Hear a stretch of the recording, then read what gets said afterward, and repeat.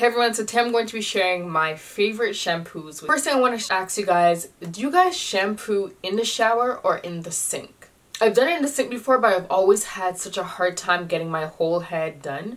So I do it in the shower now. So the shampoos I'm about to show you guys are not in any particular order. I'm just going to be sharing them randomly but all of them I use. I kind of go based on how my hair is feeling or whichever shampoo I feel like using. So the first one I'm going to show you guys is the one by Creme of Nature. It's the, the one in the red bottle, so it looks like this. It is sulfate free. It's the Moisture and Shine shampoo.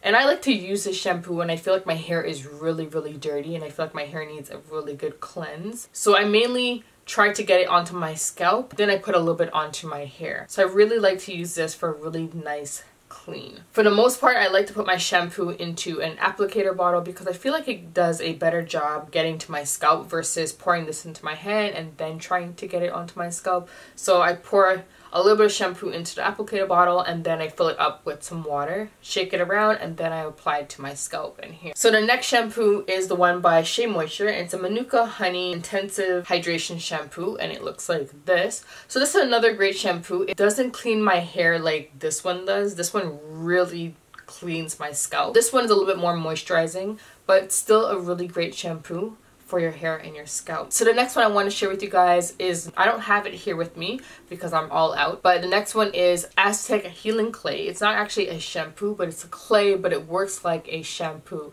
For some people, they like to use it as a two-in-one, a shampoo and a conditioner, because they feel like after they use it, they don't need to use anything else. For me personally, it does a really good job with cleansing my hair and my scalp. It's actually like a detox for me. I like to follow up with deep conditioning after. I feel like it doesn't do a good job with putting moisture back in. Some people just need to use that and that's it. And then they just go ahead and moisturize and seal. But I personally like to follow up with a conditioner. The next on my list is the Maui Moisture Curl Quench plus Coconut Oil Shampoo. And I'm almost done this. It has just a teeny little bit inside.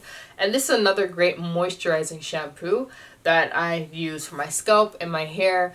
But see, this one is something that I wouldn't use when my hair is super, super dirty or my scalp has a lot of buildup because I don't think it does a good job with removing buildup off of my scalp. I need something a little bit stronger, which is why I use this one. And then finally, we have the Creme of Nature Clay and Charcoal Shampoo. And this is actually a pretty good shampoo. This actually does a pretty good job with getting buildup off of my scalp. It's almost like a detox shampoo because it because it has bentonite clay, it has charcoal in it. So does a really good job with getting buildup off of your hair and scalp. This is something that came out, it's only a few months old. I did a whole video using this line. All of these shampoos smell really, really good, by the way. Those are the shampoos that I personally like to use on my hair in the shower and I like to put my hair in sections mainly six to four four to six sections using some clips or whatever and I like to use my applicator bottle because I feel like that's the best way to get to my scalp. I know some of you guys just shampoo your hair in one big section. For some reason I can't do that because my scalp will never get clean. I will end up walking out of getting out of the shower and my hair will be